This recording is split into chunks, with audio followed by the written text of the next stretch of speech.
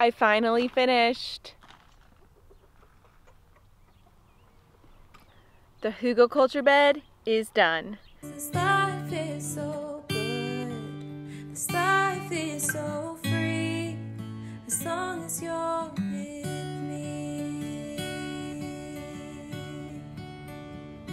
So let us run away as fast as we can. No looking back, I'll hold your hand cause we're. I'm a little bit obsessed with it, guys. So let me tell you about the work that it took, why we decided to do it, and why I'm so obsessed with this style of gardening. What in the world is hugelkultur? Well, it stands for hill culture or mound culture. Essentially, as you see here, that is a mound. And believe it or not, but first, before making it into a mound, we actually dug up some sod. So it was probably four inches dug up before we built it up. And building it up was a lot of work. So was digging outside because digging out sod is not fun. Somebody was not happy that I decided to do hugelkultur because of the work involved. But aren't you glad it's finally done? Yeah. Yeah. I decided I wanted to do hugelkultur probably just seeing people do it on Instagram and seeing videos on YouTube and just the idea of making a bed that gives back year after year as the wood breaks down uh, was really exciting to me. So I decided I wanted to go ahead and do it. I knew that I wanted to add this bed here um, because we needed more garden space. Here's what we did. So first we started by digging up the sod, which was about three or four inches of sod and some top soil, really nice top soil. I had seen on Back to Reality's hugelkultur video that they did this, and I actually really loved the idea of being able to layer the sod back on top of the wood. That way you have an even thicker layer of topsoil to plant in. So I was really, really, really glad that we did that, and I'll tell you more about that in a minute. Once we took up the sod, then we went around our property and we looked for wood, logs that we had cut down from trees.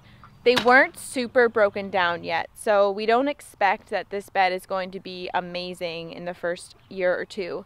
So we found our wood. We had recently cut down two trees, and we also had piles of wood that was more rotted and decayed for probably two to three years. Are you tired? Yeah. Our hugelkultur bed is getting getting going. After we laid down the initial logs, I did add some composting wood chips down um, just to fill in some of those air gaps. I don't know that this was essential.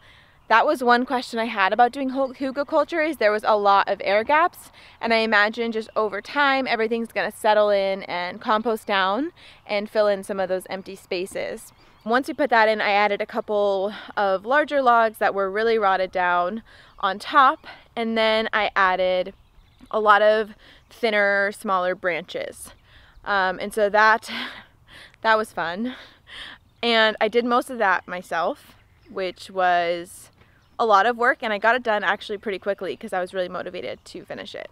Once I did that, I went ahead and I took the sod from the bed that we had dug up and I layered it upside down on top of the bed. And let me tell you, that was exhausting. While I was making this bed, there were so many times that I just wanted to quit. I literally just wanted to quit. I wanted to wait for Chris to get home and I wanted help because it was exhausting. There were so many heavy things to lift. I'm not the strongest person in the world and I just was over it. But the idea of being able to plant in this thing and get it finished motivated me to keep on going. And I feel that way about everything when it comes to the garden. The idea of the food that we grow and the produce that is going to come out of the space motivates me to just keep on working because it's exhausting. It's so much work. It's more exercise than I ever have. It's exhausting. You have to exert a ton of energy and it's easy just to be like, you know what, I'm just gonna have a couple raised beds, keep it simple. But you don't get the huge reward if you don't put in the huge work. So I was really, really, really, really happy that I didn't give up. I kept going. I finished this bed. because I got a plant in it and that was really exciting. And I had tons of red onion that I needed to plant. So once we put the sod layer down, then we actually put a layer of an old rotted hay bale that had gone a little moldy uh, a year back. It was a real, really big round bale, so all we had to do is put it on top of the bed, and then we just had to roll it, and that was the easiest part. And it was so fun because it was over in just a couple minutes after rolling it out. And we also saw that idea on Back to Reality, which is definitely one of our favorite YouTube channels. If you haven't seen them, head on over and check out their videos because we love them.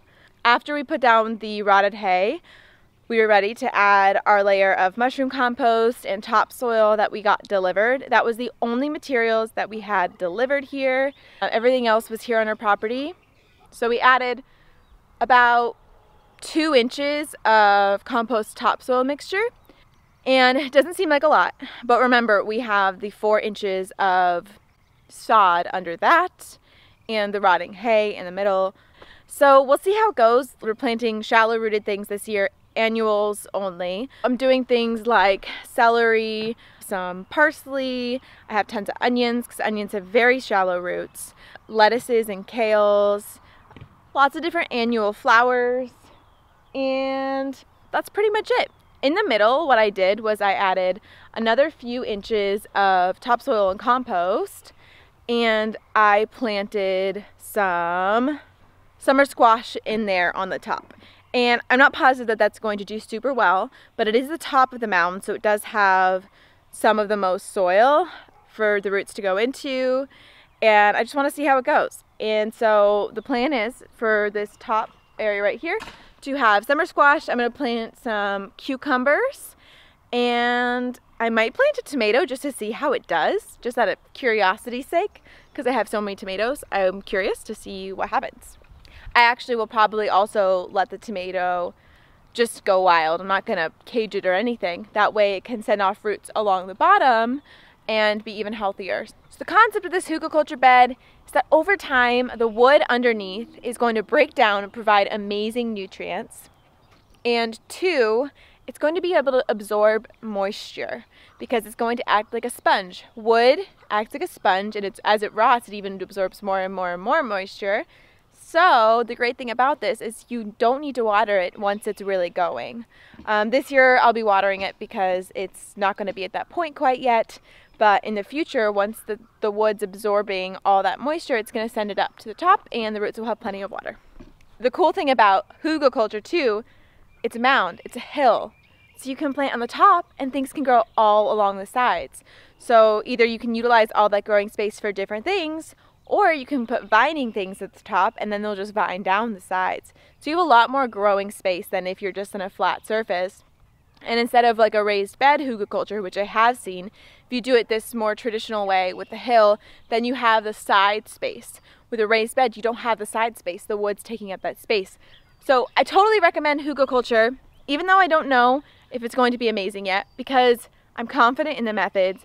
I'm confident in this style of permaculture through what I've seen from others and just the success that other people have had with food.